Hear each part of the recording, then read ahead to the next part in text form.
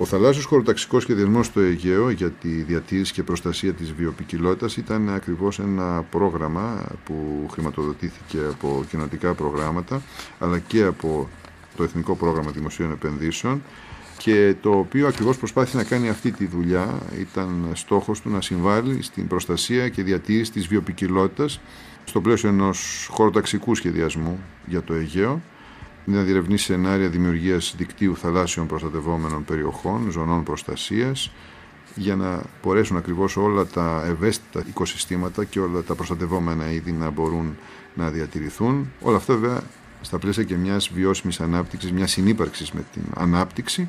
Ήταν μια δουλειά την οποία ολοκληρώνει αυτόν τον καιρό το Πανεπιστήμιο του Αιγαίου σε συνεργασία με το Ελληνικό Κέντρο Θαλασσίων Ερευνών και το Ινστιτούτο Ναυτικών Ερευνών, το οποίο συγκροτείται από την Ελλάδα και την Νορβηγία.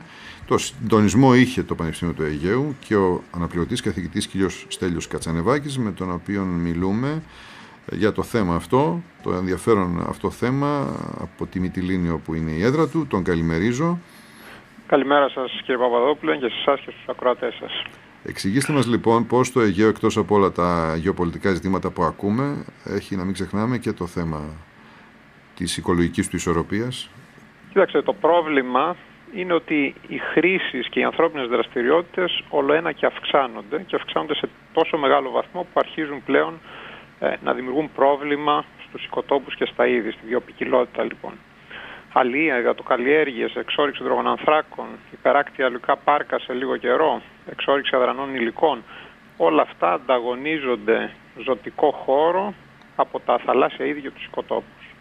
Το πρόβλημα λοιπόν είναι η μείωση της βιοπικιλότητας, η υποβάθμιση του θαλασσίου περιβάλλοντος. Και αυτό στο οποίο καταλήξαμε στο πρόγραμμα Μαρίσκα, στο πρόγραμμα για το οποίο μιλήσατε, είναι ότι θα πρέπει ως ένα εργαλείο για την αντιμετώπιση του να αυξηθεί η προστασία.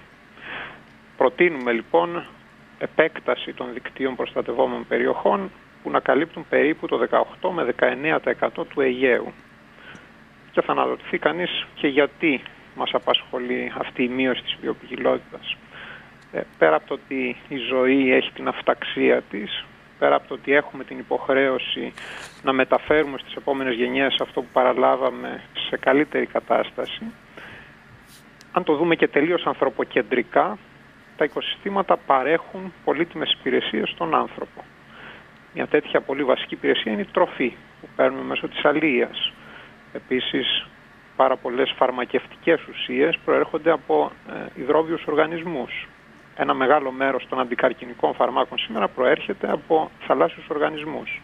Και βέβαια στην περίπτωση της Ελλάδας η βαριά βιομηχανία της χώρας, ο τουρισμός, εξαρτάται σε μεγάλο βαθμό από την κατάσταση του θαλασσίου περιβάλλοντος. Για όλους αυτούς τους λόγους λοιπόν πρέπει να πάρουμε μέτρα ώστε να μην υποβαθμίζεται το θαλάσσιο περιβάλλον και αν θέλετε η μείωση της βιοπικιλότητας είναι ένας βασικός λόγος υποβάθμισης. Ναι. Αν μου επιτρέπετε να δώσω ένα παράδειγμα. Ναι, δώστε μας μερικά παραδείγματα. Ε, θα Βλέπουμε, ναι. παρατηρούμε σε πολλές περιπτώσεις για, να υπάρχει πολύ έντονη αύξηση κάποιων πλακτονικών φυκών και το χρώμα του νερού να, αλλά, να γίνεται πράσινο, καφέ, κόκκινο. Είναι οι λεγόμενες ερυθρές παλήριες και έχουμε παρατηρήσει και στο Θερμαϊκό πολλές τέτοιες περιπτώσεις και σε άλλα μέρη της Ελλάδας. Αυτά τα μικροφύκη βγάζουν τοξικές ουσίες και μπορεί να προκαλέσουν τη θανάτωση των ψαριών και πολλών άλλων θαλάσσιων οργανισμών και βεβαίως να κάνουν το νερό ακατάλληλο για κολύμβηση. Μπορεί να προκαλέσουν ε, σημαντικούς ερεθισμούς ή ακόμη και αλλεργικά σοκ σε κάποιους ανθρώπους. Ή ένα άλλο παράδειγμα. Σε ολόκληρη τη Μεσόγειο παρατηρούνται με όλο ένα και μεγαλύτερη συχνότητα περιστατικά έξαρσης δουσών και στις δικές μας θάλασσες και σε πολλές άλλες περιοχές της Μεσογείου αυτό είναι ιδιαίτερα έντονο. Μάλιστα στην Ανατολική Μεσόγειο υπάρχει ένα εισβολικό είδος μέδουσας, ένα είδος το οποίο δεν υπήρχε στη Μεσόγειο και ήρθε μέσα από τη διόρυγα του Σουέζ και το οποίο κάποιες περιόδους το καλοκαίρι μπορεί να φτάσει τεράστιες συγκεντρώσεις, δεκάδες άτομα λοιπόν ένα κυβικό μέτρο νερού. Οπότε όπως καταλαβαίνετε αυτό είναι σημαντικό πλήγμα για τον τουρισμό αυτών των περιοχών. οι περιοχές, οι παραλίες κολύμβησης είναι ακατάλληλες, δεν πηγαίνουν οι τουρίστες και εκτός από αυτό δημιουργούν και τεράστια προβλήματα στην αλία. Ναι. Είναι τόσο μεγάλη συγκέντρωση αυτών των οργανισμών που οι ψαράδες δεν μπορούν να ρίξουν τα δίχτυα τους γιατί ουσιαστικά το βάρος όλων αυτών των οργανισμών μετά δεν μπορούν να τα σηκώσουν. Πέρα από το ότι καταστρέφεται και το αλίευμα από τις μέδουσες που πιάνονται. Πού οφείλεται τώρα αυτό; Οφείλεται στη συνολική υποβάθμιση των τροφικών πλεγμάτων. Στη συνολική υποβάθμιση του θαλάσσιου περιβάλλοντος. Αν υπήρχε μια ισορροπία, αν οι θηρευτές των μεδουσών κρατούσαν τον πληθυσμό σε χαμηλά επίπεδα, δεν θα εμφανιζόταν αυτές οι εξάρσεις.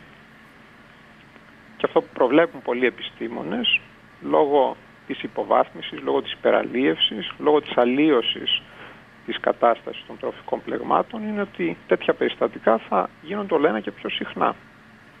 Αντί να βλέπουμε ψάρια λοιπόν στις θάλασσες, θα βλέπουμε κυρίως μέδουσες. Για όλους αυτούς τους λόγους πρέπει να πάρθουν μέτρα. Πριν μας πείτε μια και το αναφέρατε την εισβολή μεδουσών μέσα από τη διόρυγα του Σουέζ, Γενικώς υπάρχει ένα τέτοιο θέμα, νομίζω ασχολείστε και επιστημονικά με τις βιολογικές εισβολές που υπάρχουν ναι, στη Μεσόγειο, ναι. κυρίως από τη μεριά της ε, διόρυγας του Σουέζη, είναι τα λεσεψιανά, το πούμε ήδη όπως τα λένε, από το όνομα του φυσικά του μηχανικού που, του Λεσέψ που είχε φτιάξει τη διόρυγα την πρώτη. Τώρα υπάρχει και μια δεύτερη διόρυγα που κάνανε οι Αιγύπτιοι, να ναι, πούμε. Ναι, μια παράλληλη. Μια παράλληλη, άρα έχει μεγαλώσει κι άλλο η διοχέτευση νερού. Ε, να πω, διάβαζα πριν από λίγες μέρες ένα περιστατικό που ένας ψαράς ε, στα Χανιά, νομίζω, ανέβασε στο ίντερνετ την ψαριά του, η οποία ήταν γεμάτη λαγοκέφαλους. Είναι αυτό το ψάρι που έχει εμφανιστεί τα τελευταία 10-15 χρόνια στις θάλασσες. Θεωρείται μεγάλο πρόβλημα από τους ψαράδες. Αφενός καταστρέφει και αυτό δίκτυα, ψαριές και κυρίως το ίδιο, αν καταναλωθεί κατά λάθος, είναι πολύ τοξικό το κρέα του. Τι... Μπορεί να οδηγήσει και στο θάνατο ναι. και έχουν υπάρξει τέτοια θανατηφόρα περιστατικά στη Μεσόγειο. Άρα ε, είναι, η Μεσόγειος είναι καταδικασμένη να δέχεται όλο ένα και περισσότερα τέτοια είδη τα οποία δύσκολα μπορούν να εξορροπηθούν από άλλα συν την ε, ανθρώπινη παρέμβαση δηλαδή και ό,τι άλλο κάνουμε εμείς.